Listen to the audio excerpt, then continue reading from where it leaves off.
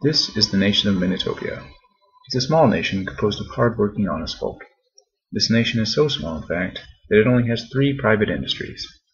The workers of Minitopia are split evenly between the corn farming industry, the steel production industry, and the textile industry. There are three congressional districts in Minitopia. One in the north, populated mostly by steel producers, one in the west, populated mostly by farmers, and one in the east, populated by textile workers. Meet Jack. Jack is a hard-working and honest Minitopian farmer who enjoys his country's low taxes and unobtrusive government. Meet Jill.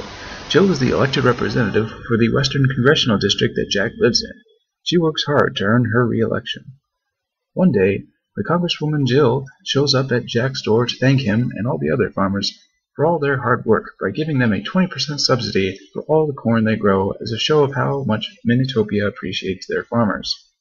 Jack is very happy that his country appreciates him. He doesn't even notice the increase in his taxes, which grew less than half as much as the increase of his income due to this new subsidy. Jill is very happy to have pleased her constituents and feels safe that her re-election is secured since all the farmers in her district have her to thank for this increase in their income. Meet Jessie. Jessie is a hard-working and honest steelworker who enjoys her country's freedoms and, until recently, low level of taxes. Unfortunately, the recent tax increase to pay for farming subsidies has made her life substantially more difficult than it was previously.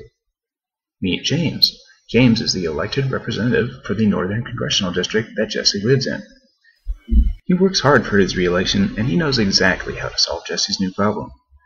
Congressman James shows up at Jesse's steel factory and tells her and all her fellow workers that he's subsidizing their wages so they all get paid 20% more.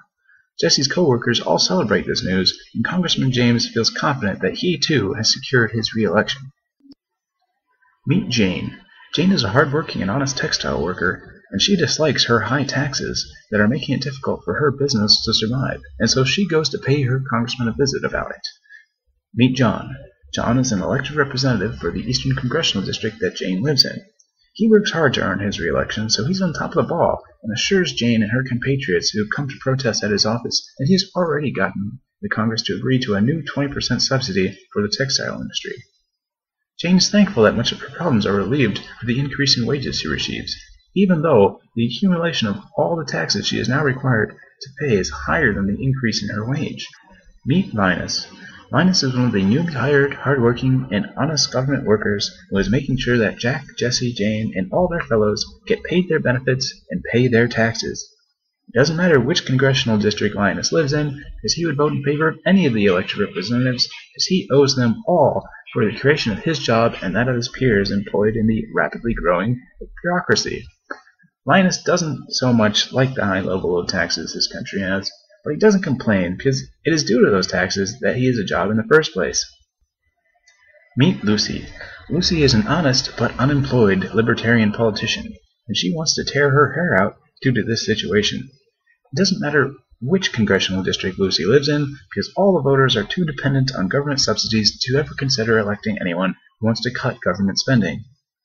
Lucy argues that nationwide wealth is lower now due to the smaller number of workers in the productive industries of farming, steel production, and textile manufacturing, and the larger number now working for the government just shifting money back and forth from one group to another.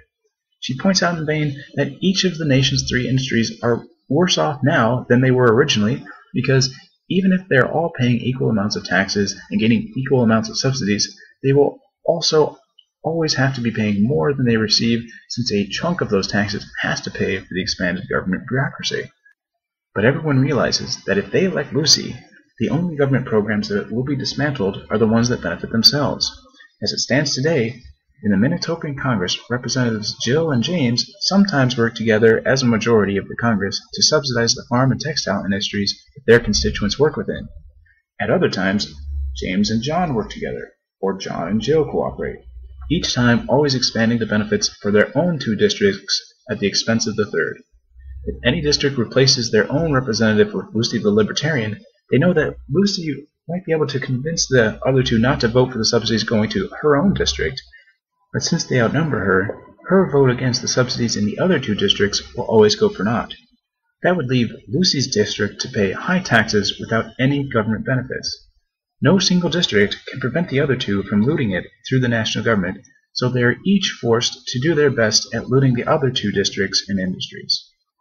Jack, Jesse, Jane, and all the other voters all make their only rational choice for increased subsidies for their own districts.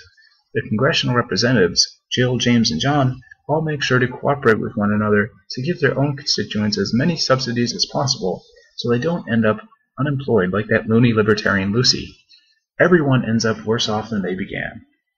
Fortunately for us, we don't live in Minitopia, and here in the real world we would never allow such an absurd and counterproductive system to continue to exist. Right?